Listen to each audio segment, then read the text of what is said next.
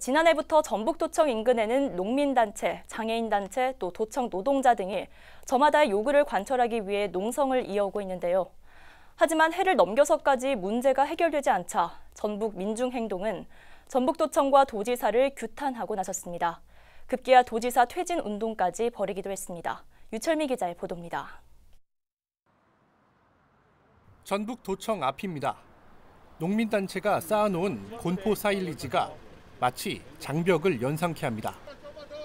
모든 농민의 수당을 지급하라는 단체의 요구와 예산 부담으로 수용하기 어렵다는 도청 간 이견이 좁혀지지 않으면서 사일리지 장벽은 해를 넘겨서까지 자리를 지키고 있습니다.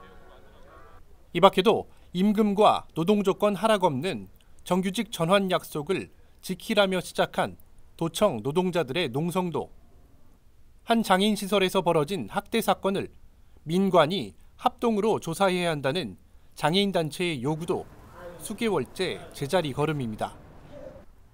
전북 민중행동은 기자회견을 열고 전북 도정의 불통을 규탄하고 나섰습니다. 장애인 학대 사건의 민간 합동 조사 약속은 아직도 이행되지 않고 있다. 신속하고 발빠른 대처까지는 아니어도 다시는 이런 일이 발생하지 않도록 제대로 조사하자는 요구가 이렇게 어렵단 말인가? 민중행동은 또 송하진 노지사에 대한 퇴진 운동에도 나서겠다고 밝혔습니다. 이들 단체는 가두 행진과 결의대회, 거리 선전전 등 릴레이 집회를 통해 도청을 압박한다는 계획입니다. 과연 누가 시대착오적이고 세상을 잘못 읽고 있는지 우리 힘으로 보여줘야 한다고 봅니다.